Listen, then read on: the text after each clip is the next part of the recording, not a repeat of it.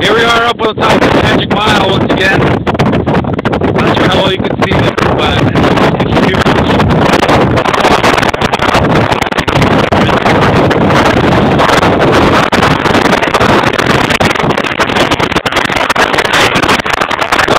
Miles an hour up here. There's the top of the mountain. And there's some dude out there flying a kite.